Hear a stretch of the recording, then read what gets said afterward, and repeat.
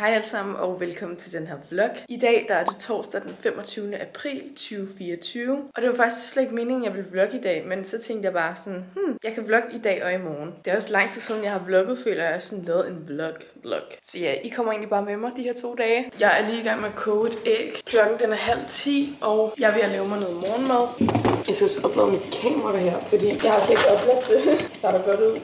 Jeg så lige et stykke rugbrød også, og så tænker jeg faktisk også lige at lave en smoothie. Det kunne være sygt lækkert. Men jeg bliver simpelthen nødt til lige at skylle mit ansigt. Det er det bedste at skylle sit ansigt, når man er vågen. Huh? Done. Men det er okay. Ægget bliver altid godt, når man lige får lidt over 7 minutter. Ikke 7 minutter, så kan det godt være noget af det hvide stadig er lidt blævret, men heller ikke 8 minutter, fordi så er det allerede hårdkogt. Jeg kan godt lide, at min æg er sådan smilende. Så søvn ud af øjnene. Ah, det bedste, seriøst. Jeg har modtaget den her i gave, så jeg skal lige sige reklamegave, men det er sådan en spray fra Embrolis. Jeg elsker Embrolis. Den toner, og den dufter bare sindssygt godt, og den er bare dejlig.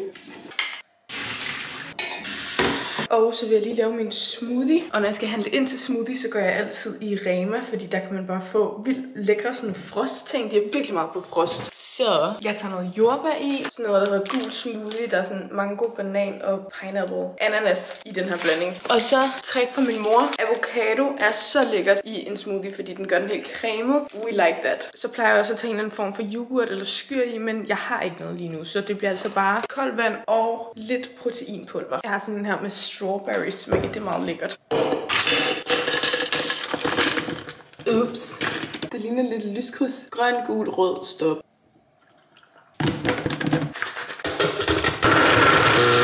Så er der morgenmad, ristet rugbrød, og så fandt jeg lige det her i køleskabet. Den smager altså ret godt, så det bliver det til. Blødkogt æg, lækker proteinsmoothie og vand. Det kan da blive lidt sådan en what I eat. Hvis jeg kunne spise pålægtschokolade hver dag, så gjorde jeg det. Vi smager lige den her. Mmm, det smager sommer. Så nu vil jeg egentlig bare lige sidde og spise min mad og få set lidt YouTube. Ej, jeg har virkelig meget allergi, og det er ret irriterende, det har sådan sat sig i min hals, kan jeg mærke. Og det er på sådan en bestemt måde. Jeg sådan kan mærke, at det er allergi, og det er ikke bare sådan en hoste. Det er allergi. Og jeg tager også en allergipille. Faktisk et trick, det er, at man kan godt blive lidt træt af nogle allergipiller. For eksempel plejede jeg engang at tage Alnok, men sådan, det gjorde mig så træt. Altså, det var en sovepille for mig. Sådan, jeg kunne tage en Alnok, og så kunne jeg tage en ud på tre timer. Altså, det, det gik amok. Så jeg gik til lægen, og så fik jeg nogle andre piller, som hedder Tilfast. Og det gør mig ikke træt på samme måde. Men noget af det, som jeg plejer at gøre, det er, fordi jeg plejer altid at vågne med sindssygt meget allergi. Og skal jeg tage en pille og vente på, at den sådan virker. Så jeg begyndte at tage en pille, inden jeg går i seng, fordi så kan den sådan arbejde i løbet af natten, og så står jeg op og ligner en normal menneske, og ikke en, der sådan der er vidderligt ved at omkomme. Eller, eller, jeg ved det ikke. Men altså, jeg har lige noget creme i mit ansigt. Jeg er blevet obsessed med Kiels hudpleje. Jeg har også nævnt det i øh, en af mine andre vlogs, men det er også sådan, jeg skal måske lave et samarbejde med dem, så jeg skulle lige teste deres produkter af. Så det her, det er også reklamegave, men det var bare sådan, oh my god. Jeg elsker deres produkter. Jeg har deres wash og deres ultra facial cream. Kæmpe anbefaling, seriøst. Men hud er sådan blød og glat føler. Der er en anden, der synger et eller andet sted. Så virkelig skråler. Det lyder ikke særlig godt.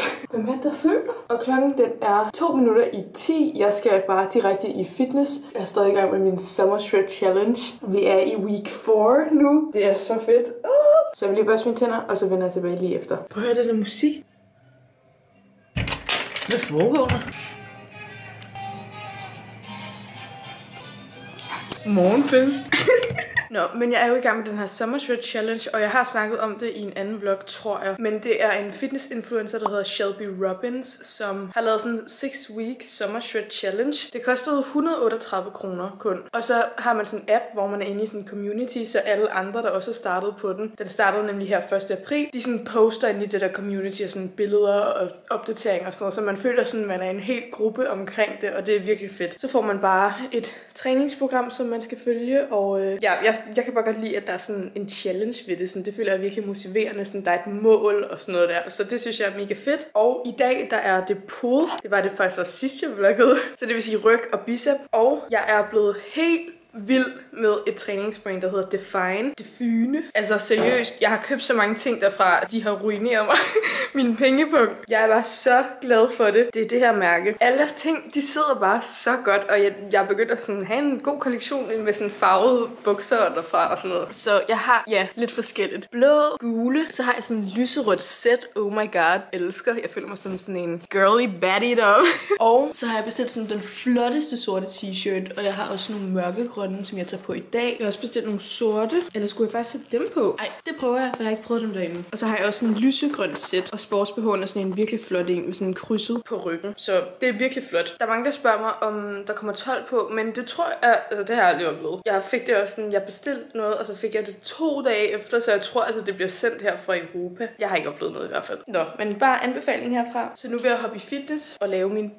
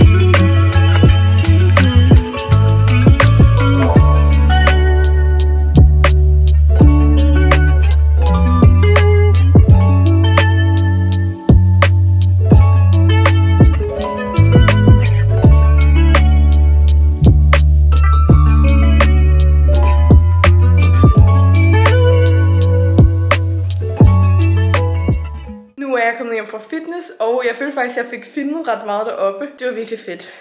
Okay, jeg er lige ved op ad trapperne, så jeg skal lige øh, være. Men klokken er nu kvart over 12. Jeg skal faktisk ret mange ting i dag. Eller, okay, jeg har tre aftaler efter det her. Jeg skal lige ned på en café, der ligger her på Vesterbro, fordi at Frederik og Christine fra mit nye agency, jeg har jo skiftet agency, de er der, og øh, vi skal lige holde sådan en mini-møde. Det var sådan ret spontant, så vi skal lige sådan snakke om nogle ting og sådan noget. Jeg skal faktisk også lige tjekke noget på min computer, inden jeg skal derhen, så lidt stress. Jeg tænker bare lige, at øh, jeg vil få en lille bid mad, og her senere, der skal jeg i spa med min kæreste. Vi skal i Air Ancients Baths. Vi var så heldige at få nogle gavekort derfra. Vi har nemlig været der en gang før, og så var de så søde at give os nogle gavekort, så vi kunne komme igen. Så der skal jeg også lige sige reklamegave. Så det glæder vi os bare sindssygt meget til. Jeg har også bare virkelig har brug for en massage. Så vi får 60 minutters massage, og jeg glæder mig så meget. Det skal jeg kl. 15 i dag, og så senere helt sent i aften, sådan 20.45, der spiller jeg håndboldkamp på hjemmebane. Så der sker lidt i dag, må man sige. Men på vej hjem, der gik jeg lige ind i um, Emery's bageri, og så købte jeg en lille kanelbund, hed det. Jeg synes bare, det så så lækkert ud, og jeg elsker brød og kage. Altså, oh. Den ser sådan her ud. Det er jo sådan et økosted. Og hvis I kender mig, så ved I, at jeg ikke... Altså, jeg elsker de der gammeldags bagerier, hvor man kan få sådan ægte øh, hindbærsnit og sådan noget. Men jeg følte bare, den så ret god ud, så det kan være, at jeg lige får en lille bid af den. Jeg ved ikke, om jeg skal spise frokost nu, for jeg er ikke sådan mega sulten. Så jeg tænker måske bare lige at skære den her over i halv, og så spiser jeg halvdelen af den. Måske den anden halvdel, I don't know. Se, den ser rigtig moist ud. Skal vi lige smage? Det er fint nok. Jeg har smagt bedre. Jeg synes, den mangler lidt kanelsmag, men fint. Og fordi jeg skal i spa og spille håndboldkamp senere, så gider jeg altså ikke lige tage det helt store bad lige nu. Jo, men jeg vil bare lige hoppe ned på Hotel Coco, hvor de sidder. Så det gør vi nu.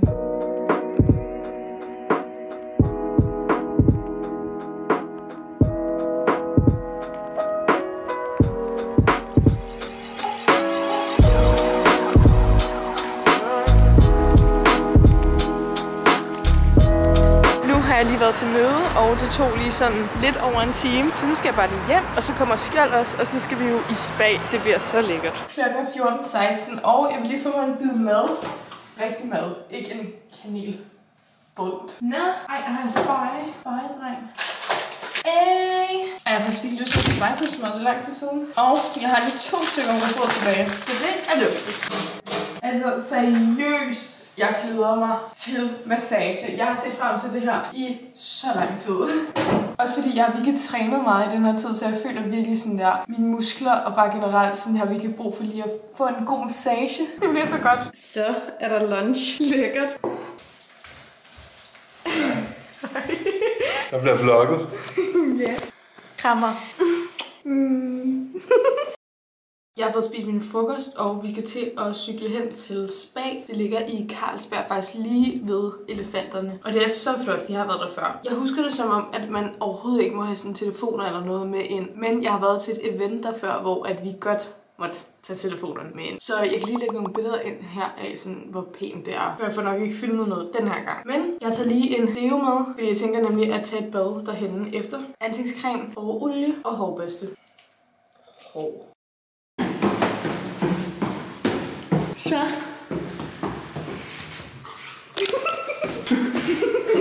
nu skal vi i spa. Hvad har du nu på hjernen? Jeg kender den ikke.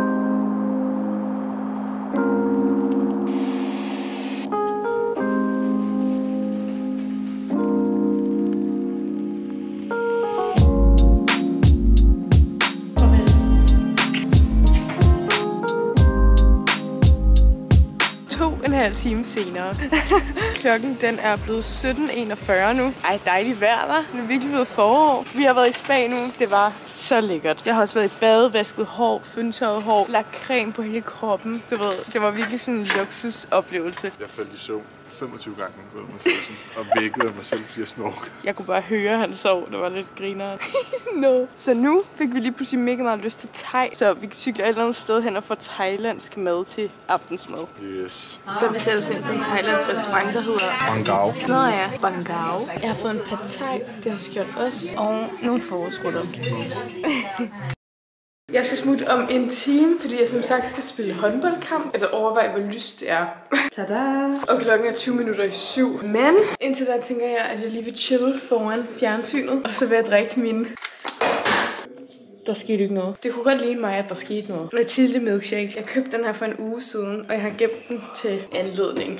nu har jeg virkelig lyst til den. Dyk med Lua Laura og filme den her lookbook. Det er fedt, faktisk dig afsted. Så er det kamptid. Vi spiller på hjemmebane, så jeg er ret sikker på, at vi spiller i hvid. Så er man kommet i kamptøjet. Det er sådan helt plettet. Men det er altså bare harpix. Men sådan... Så er vi klar. Så er det bare ned i bilen, så jeg kan komme til kamp. Oh my god, jeg har så nøj på. Det er sygt sjældent, at jeg kører bil. Nu skal jeg lige... Der er også bare sådan en ting, man lige skal huske. Spejle ud.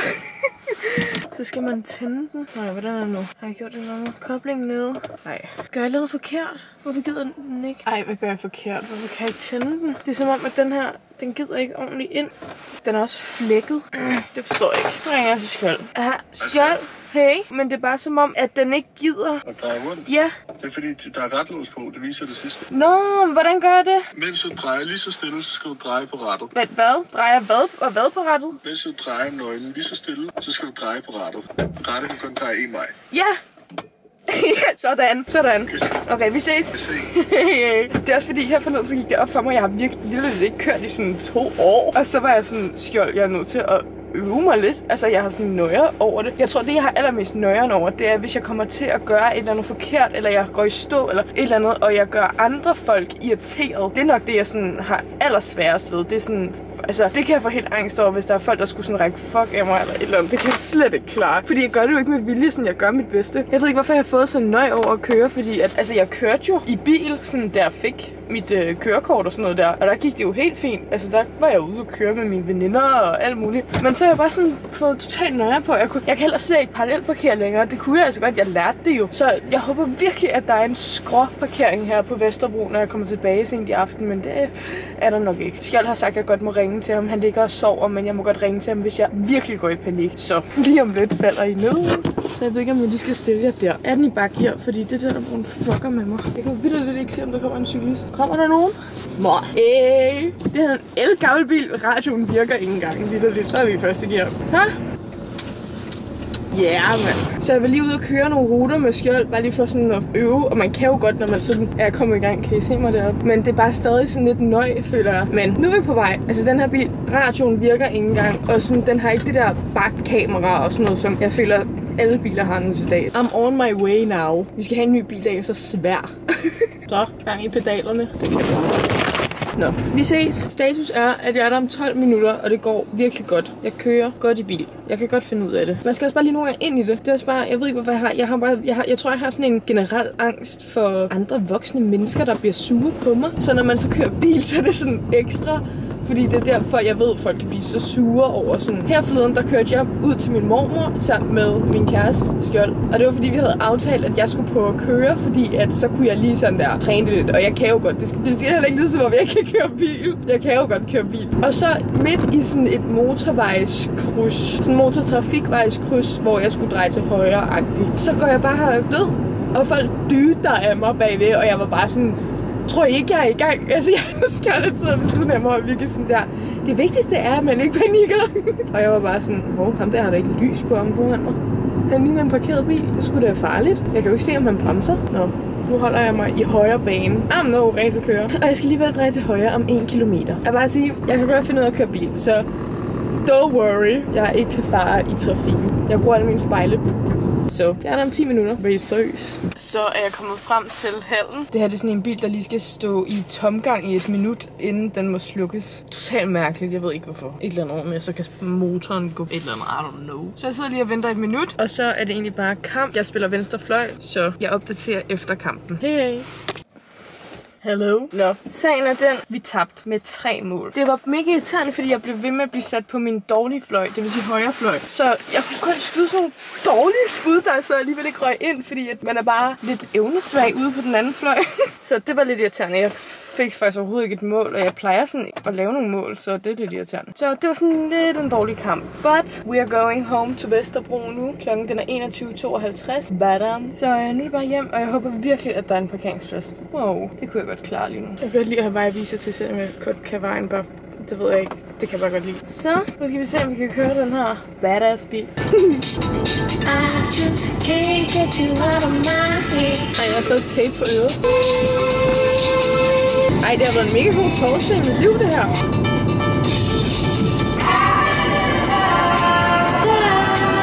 Jeg fandt parkering, og jeg fandt sådan en god en, hvor der var masser af plads. Jeg skulle ikke engang parallelparkere den, jeg skulle ligesom bare svinge den ind. Det er perfekt. No panic, no ringing to skjold.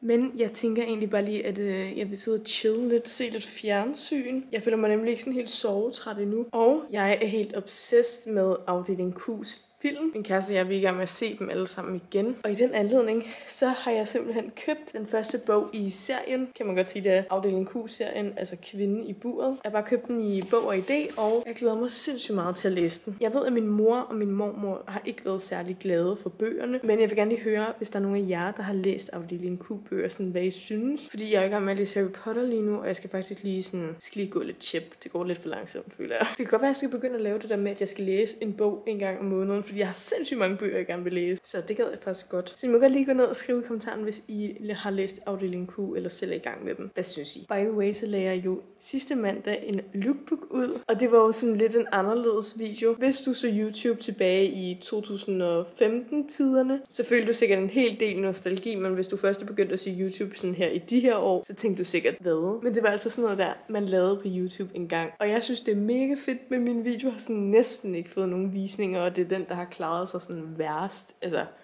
jeg ved ikke, hvor lang tid. Det er lidt ærgerligt, men det er også fordi, alle vil bare se vlogs. Der er nogen, hvor at det sådan, de kan godt lide det. Molly fra mit håndboldhold, hun sagde også, at min lookbook var sindssygt god. Og det bliver jeg mega glad for. Der er rigtig mange, der skriver til mig mere af det. Men det er også bare sådan lidt en lille niche af folk, der synes noget er fedt. Og så er der sådan en kæmpe anden del, der er sådan lidt ligeglade med det. Men fuck det. Dem, der ved, de ved.